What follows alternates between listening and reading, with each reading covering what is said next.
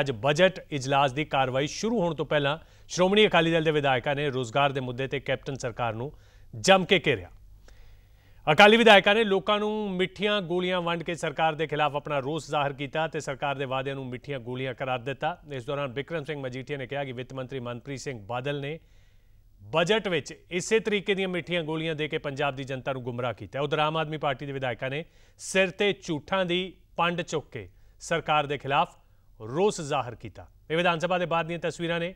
Budget ਪੇਸ਼ ਹੋਣ ਤੋਂ ਇੱਕ ਦਿਨ ਬਾਅਦ ਕੀ ਕੁਝ ਹੋਇਆ? ਪਹਿਲਾਂ ਤੁਸੀਂ ਵੇਖ ਸਕਦੇ ਹੋ, ਅਕਾਲੀ ਦਲ ਦੇ ਵਿਧਾਇਕਾਂ ਨੇ ਕਿਵੇਂ ਮਿੱਠੀਆਂ ਗੋਲੀਆਂ ਉੱਥੇ, ਜੋ ਮੀਡੀਆ ਵਾਲੇ ਮੌਜੂਦ ਸਨ, ਜਿਹੜੇ ਲੋਕ ਮੌਜੂਦ ਸਨ, ਉਹਨਾਂ ਨੂੰ ਵੰਡੀਆਂ। ਕਹਿਣਾ ਇਹ ਸੀ ਕਿ ਇਹੀ ਮਿੱਠੀਆਂ ਗੋਲੀਆਂ ਵਿਧਾਨ ਸਭਾ ਦੇ ਅੰਦਰ ਦਿੱਤੀਆਂ ਨੇ ਬਜਟ ਦੇ ਵਿੱਚ।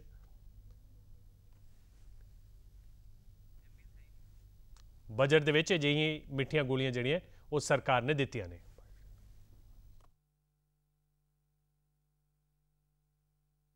ਨਹੀਂ ਸਾਡਾ ਅਸੀਂ ਤਾਂ ਸ਼ੁਰੂ ਤੋਂ ਹਿਸਾਬ ਨਾਲ ਹੀ ਚੱਲ ਰਹੇ। ਲੋਕਾਂ ਦੇ ਮੁੱਦੇ ਉਠਾਉਣੇ। ਜੇ ਕੋਈ ਕਵੇ ਕਿ ਅਸੀਂ ਕਾਂਗਰਸ ਨਾਲ ਰਲ ਕੇ ਨਹੀਂ ਖੇਡ ਰਹੇ ਤੇ ਤਾਂ ਅੰਦਰ ਬੈਠਾਂਗੇ ਨਾ। ਅਸੀਂ ਲੋਕਾਂ ਦੇ ਮੁੱਦੇ ਚੁੱਕਦੇ ਰਵਾਂਗੇ ਸਾਨੂੰ ਬਾਹਰ ਕੱਢ ਦਿਓ ਬਾਹਰ ਚੁੱਕ ਦਿਆਂਗੇ। ਅੰਦਰ ਲੈ ਜਾਓਗੇ ਅੰਦਰ ਚੁੱਕ ਦਿਆਂਗੇ। ਜਿੱਥੇ ਲੈ ਜਾਓਗੇ ਤੇ ਚੁੱਕੀ ਜਾਵਾਂਗੇ ਵਾਅਦੇ ਯਾਦ ਕਰਾਈ ਜਾਵਾਂਗੇ ਗੁਟਕਾ ਸਾਹਿਬ ਦੀ। ਸਾਹਿਬ ਮਿੱਠੀਆਂ ਗੋਲੀਆਂ ਤੁਸੀਂ ਅੰਦਰ ਵੀ ਦੇਣੀਆਂ ਸਪੀਕਰ ਤੋਂ ਵੀ ਐਮਐਲ ਬਿਲਕੁਲ ਸਾਰਿਆਂ ਨੂੰ ਅੱਜ ਸਾਰੇ ਮੁਲਾਜ਼ਮਾਂ ਨੂੰ ਦਿੰਦੇ ਜਾਵਾਂਗੇ। ਜਿਹੜਾ ਆ ਗਿਆ ਸਾਡੇ ਲੱਭ ਗਿਆ ਸਾਨੂੰ।